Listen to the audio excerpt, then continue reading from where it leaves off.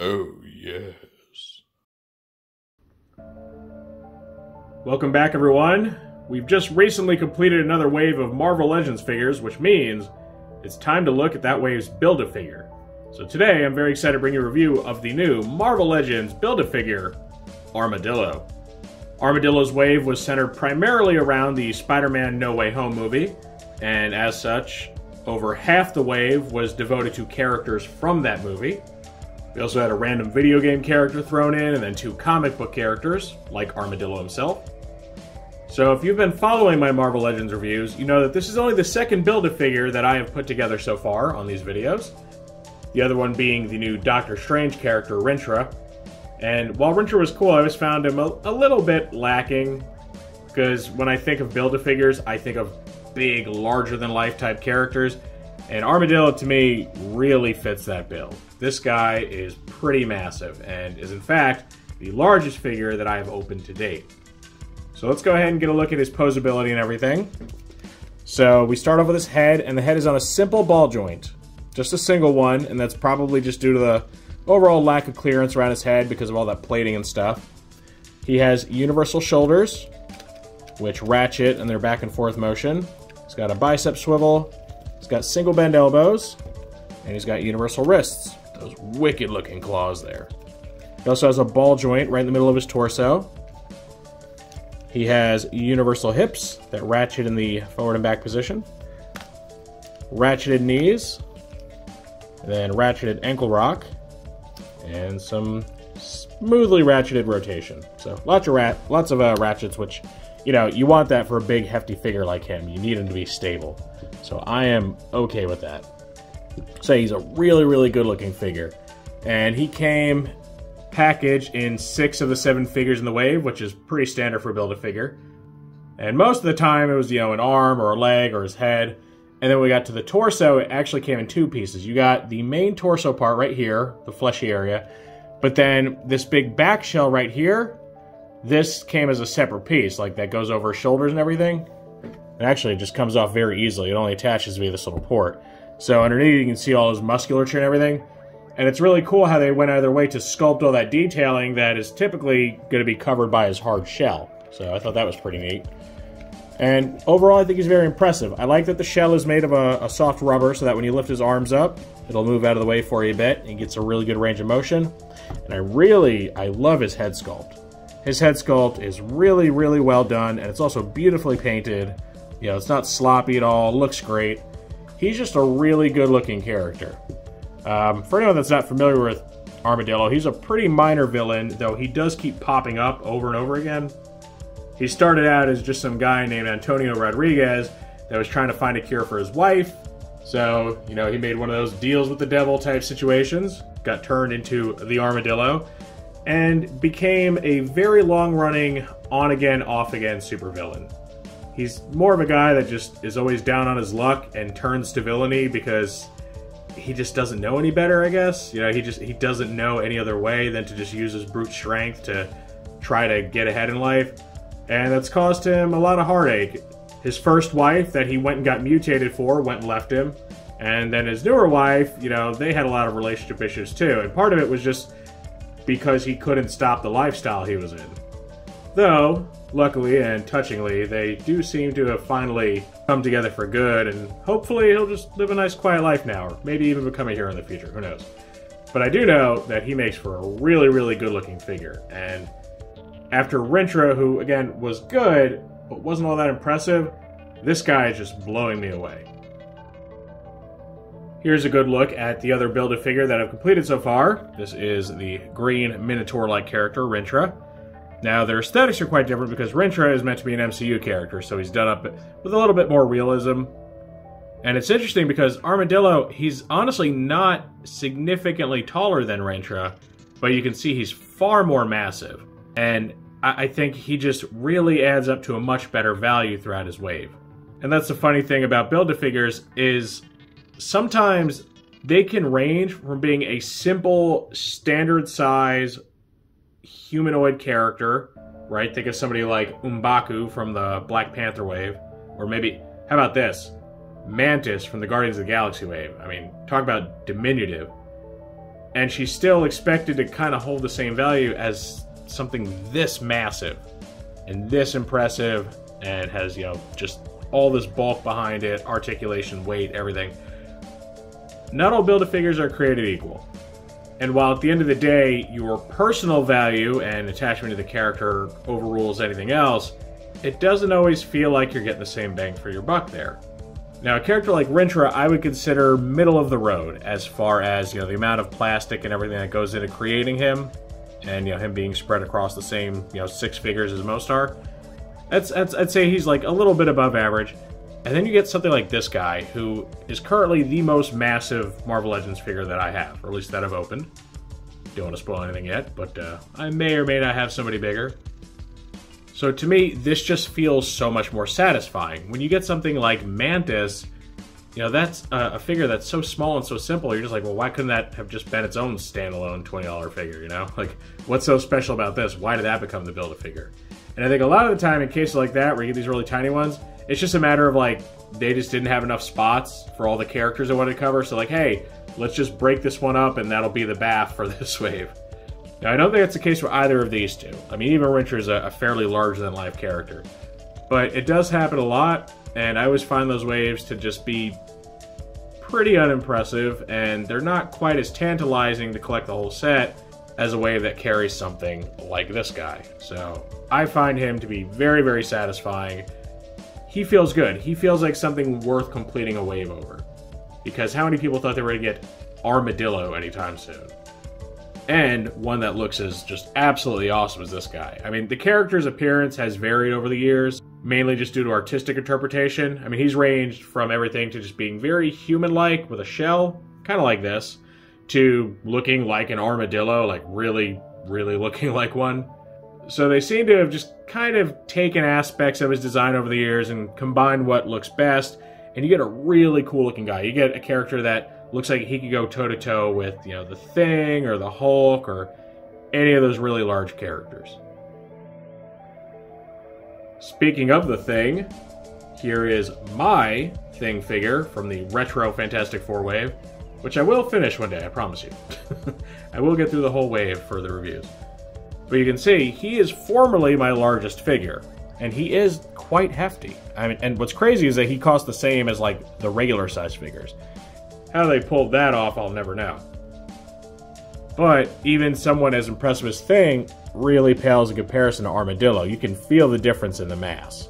And while the Thing is still quite beefy, you just know that Armadillo outweighs him and outsizes him and really just excels in every way.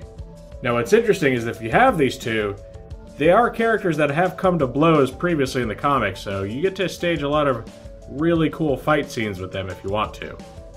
This also kind of reminds me, Armadillo's supposed to be like 7 foot something, but I think if you scale this figure against others, I think the figure comes out to be quite a bit taller. So I do believe they beefed up his size a little bit compared to, you know, what, what it uh, should actually be, because he probably should be closer to Thing size, but he's still awesome, so I don't really care if he's a little big.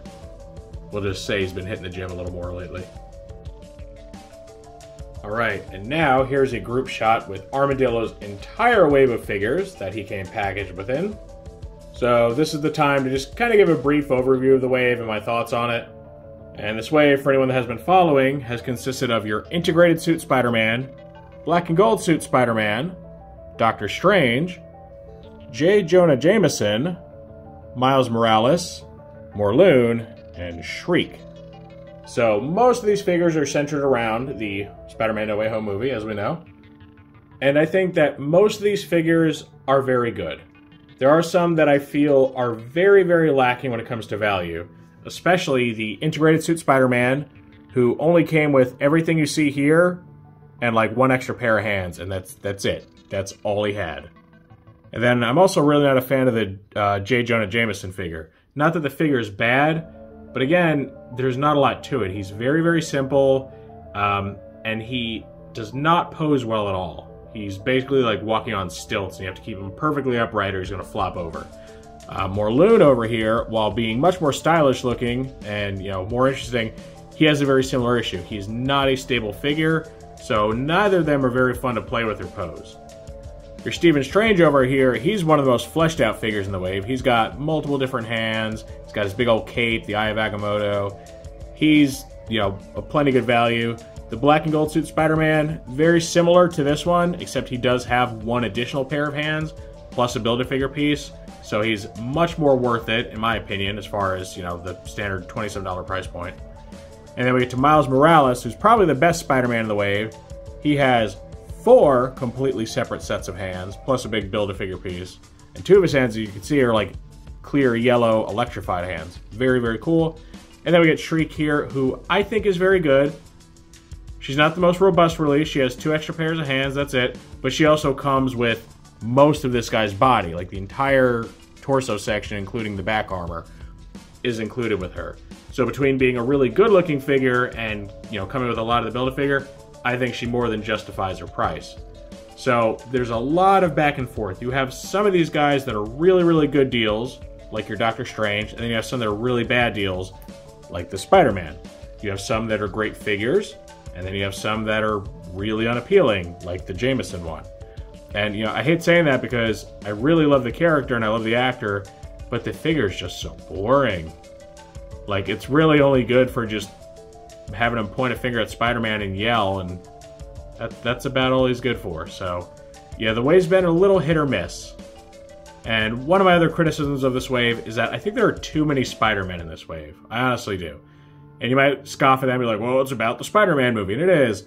But when three out of the seven figures are some form of Spider-Man, that seems like a bit much.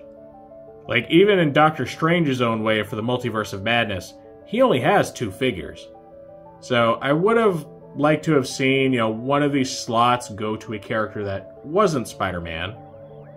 And I hate to say this because even though I think he's the best of the three, I think the Miles really could have just been like moved to a different wave and replaced with somebody a little more different.